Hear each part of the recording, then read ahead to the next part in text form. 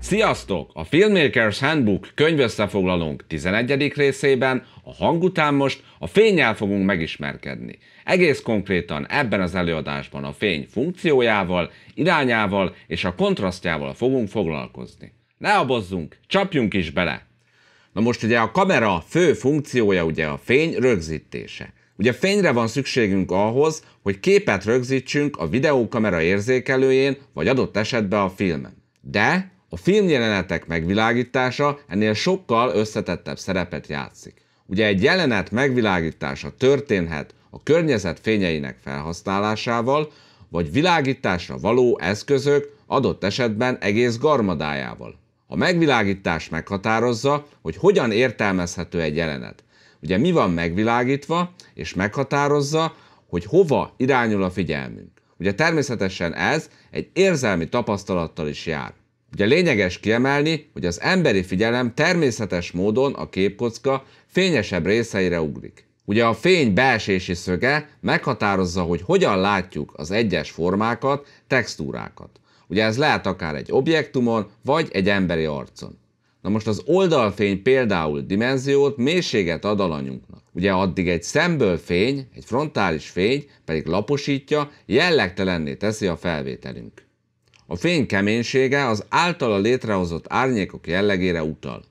Ugye a kemény fény, mint például a direkt napfény párhuzamos sugarakból áll, amely tiszta, erőteljes árnyékot képez. Ugye ezáltal határozottan körvonalazza a formákat, és egyfajta nyersséget sugal. Most ez a típusú megvilágítás a 40-es évekbeli hollywoodi produkciókra volt jellemző. Ugye ezzel szemben a lágy, diffúz, vagyis szórt fény az kevésbé egyirányú, ahogy itt az ábrán is látjuk, vagyis a fénysugarak különböző irányba szóródnak, így lágyabb, finomabb árnyékokat képeznek. Ugye például ködös vagy borús napon a fény ugye lágy. Tehát az ég minden részéből egyszerre árad. Ugye viccesen szokták mondani, hogy feltették az égiek a softboxot. Ugye ez a lágy fény hagyományosan a női színészek megvilágítására használatos. Ugye azzal a céllal, hogy a ráncaikat vagy úgymond a tökéletlenségeiket elfedjék. Most beszéljünk picit a fény irányáról. Ugye a kamera felől érkező fényt szemből jövő fénynek nevezik, vagy frontlight.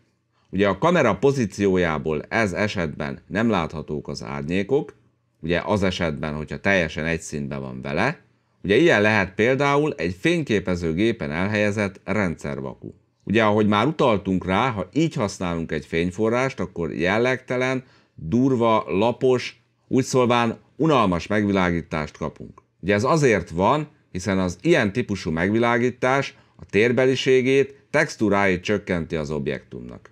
Na most, hogyha elképzelünk egy órát, és mi a hatos számon állunk, akkor a frontális fény tehát ugyanezen a számon van.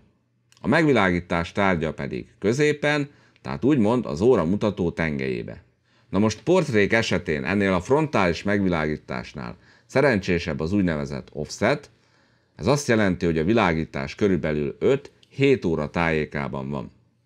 Szintén szerencsésebb az ettől picit eltérő 3 Carter Frontlight, ugye ez körülbelül 4.30, illetve 7.30-nál található ebbe az esetbe.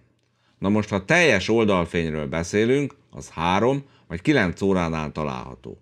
Na most egy ilyen megvilágítás már erősen drámai hatású és jellegzetes térbeliséget ad az alanynak. Fontos még az úgynevezett hátfény, vagy backlight. Ez lényegében az alany formáját rajzolja körül, és egy jellegzetes, szép halót képez körülötte. Egész konkrétan a haja körül. Például esküvői fotóknál, vagy esküvői videóknál ez kifejezetten jól mutat. Na most, hogyha ez a hátfény domináns, az zsúrnak hívják, és ugye ez egy romantikus hatást kelt. Na most, ha a kamera felől 3 és 9 óra között nincs ellenfénye a hátfénynek, ami ugye 12 óránál található, akkor lényegében sziluettet kapunk. Az elmondottak tükrében nézzük meg ezt az ábrát. Na most, ha megnézzük az A ábrát, akkor backlight, vagy úgynevezett kicker található itt. Ugye ennek egyúttal még szerepe, hogy az alanyt elkülönítse a háttértől. A B esetén oldalfényt kapunk, a C esetében a three quarter front lightot, még a D esetében front light, tehát szemből fény. A megvilágítás tehát, ahogy az előző példából már kiterülhetett, a kamera szögétől függ. Ha megnézzük ezt a gyakorlati példát, akkor azt látjuk, hogy egy spotlight segítségével van megvilágítva.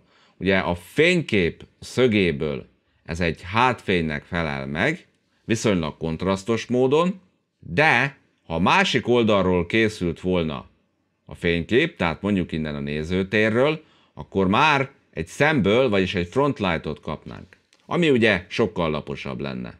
Ezzel szemben a képen levő kamera pedig oldal megvilágítást rögzít. Tehát ezen példán keresztül nagyon jól látszik, hogy mennyire meghatározó az, hogy az adott fényforráshoz képest mi honnan fotózunk vagy filmezünk.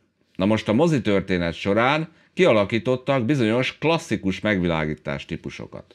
Ugye ennek egyik típusa az úgynevezett Paramount Light, ugye ez nevét a Paramount Pictures-ről kapta. Ugye ezt alapvetően hölgyek esetén szokták használni, és nagyon érdekes módon ez a típusú megvilágítás, aminek ugye az a lényege, hogy körülbelül az alany fölött 90 centire és szemből, tehát nem totálisan szemből, hogy lapos legyen, hanem hogy egy nagyon érdekes árnyékot képezzünk. Ugye milyent is? Egy olyant, hogy lényegében egy érdekes kis lepkeformát formál az orránál. Valamint nagyon szép módon kiemelheti az arcsontot is. Ugye természetesen ezt is el lehet rontani, persze az alatt, hogy elrontjuk, azt értjük, hogy ok nélkül van használva, ha mondjuk túl magasról videózunk. A másik típus a loop. Hogyha elkezdünk oldalirányba menni, ahogy most látjuk ezen a gyakorlati példán is, akkor gyakorlatilag egy kis hurkot, ugye erre utal a loop, képez az árnyék az orron. Ugye gyakorlati példaként ezt az Underworldből készült filmjelenetet látjuk. Na most, ha tovább megyünk ugyanebbe az irányba, akkor ez az árnyék összeér a másik felé lévő árnyékkal. De ami a lényeg, hogy egy nagyon érdekes kis háromszöget képez fényfolt formájában a szem alatt. Na most ez a megvilágítás a festmények idején alakult ki, és tehát, ahogy a nevét is akiről kapta, Rembrandthoz fűződik. Ha ugye oldalirányba megyünk, akkor a splitet kapjuk meg más néven. Ugye erről már volt szó. Ez ugye nagyon érdekes, hiszen az egyik fele az viszonylag sötét, a másik fele pedig világos. Ugye erről felől jön a fény ez esetben.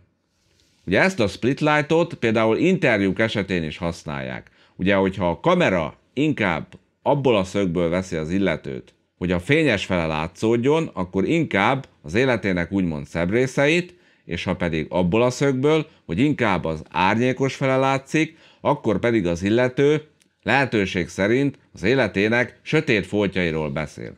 Na most, hogyha az előbb említett fej fölötti fényt túl magasra emeljük, és közvetlenül az alany feje fölöttről érkezik, akkor egy jellegzetes, mosómedve szemeket ad a megvilágított személynek. Ugye ez alapvetően elkerülendő. De nagyon érdekes módon, ami a teljes filmezésre igaz, hogyha céllal történik, akkor bőven lehet művészeti értéke. Ugye erre klasszikus példa Marlon Brando megvilágítása a Keresztapa című filmbe. Ugye ez egyfajta bajós érzetet ad a jelenetnek.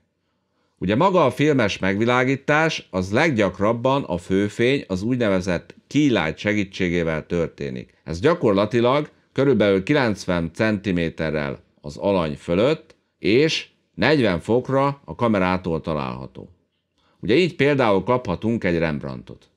Na most, hogyha az alany szemvonala alól egy úgynevezett underlight, tehát egy ilyen alsó megvilágítás történik, annak erőteljesen természetellenes hatása van. Természetellenes hatása van, de olyan produkciók esetében használják, ahol mondjuk az alakot félelmetesként akarják megmutatni. Ergo horrorfilmek. Na most a low típusú megvilágítás.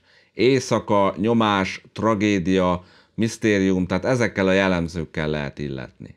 Ez alapvetően a film noárokban volt kifejezetten jellemző, például a Citizen Kane-ben. Ugye a film noir az nem is meglepő, hiszen ez a megvilágítás kitűnően illik a fekete-fehér filmekhez. hiszen egy erőteljesen drámai hatást ad.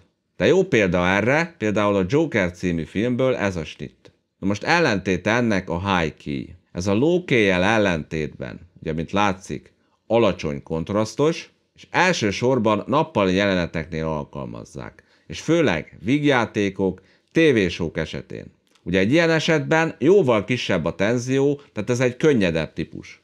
Végül, de nem utolsó sorban, amiről még nem volt szó.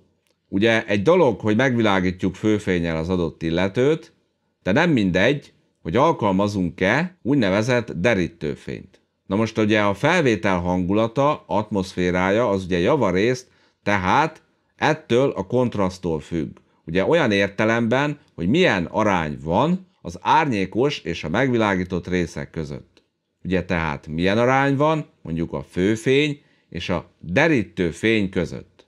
Tehát ezt Lighting Contrast Ratio-nak hívják. Ugye itt látjuk az ábrán a különböző típusokat.